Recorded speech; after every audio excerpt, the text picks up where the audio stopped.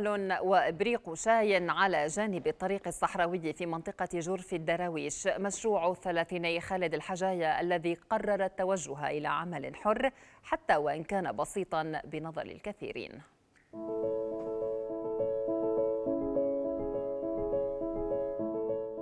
الشاب خالد الحجاية عمري 35 سنة.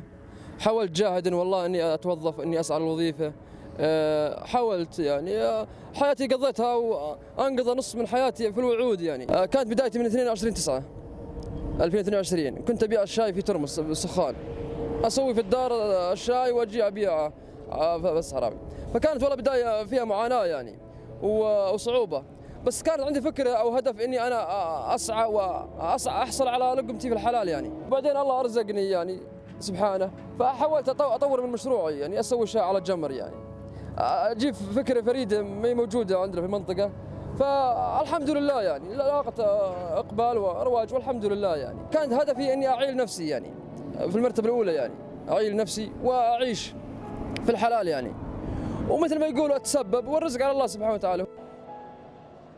كنت قبل أعمل الشغل هذا يعني انتظر وظيفة و يعني الفراغ مشكلة للشاب. يعني يفكر في المستقبل يفكر في الوظيفة. كشاب أي شاب يعني وده يصرف وده يروح وده يجي.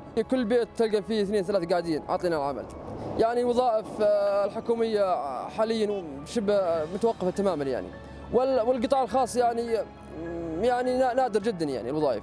فأتمنى من الشباب إنهم يتجهوا للأعمال الحرة يعني. يعني أجي الصبح وللمغرب تقريبا حسب الجو والطقس اللي يسمح لي أني أداوم وأشتغل. والله الحمد لله يعني أطلع مصروفي يعني. والحمد لله. إذا ما بعت اليوم أبيع بكرة وإذا ما بعت بكرة أبعد. أنا عندي محاولة يعني عندي استمرارية في المحاولة يعني. أنا علي أسعى والرزق على الله. أنا مستمر يعني.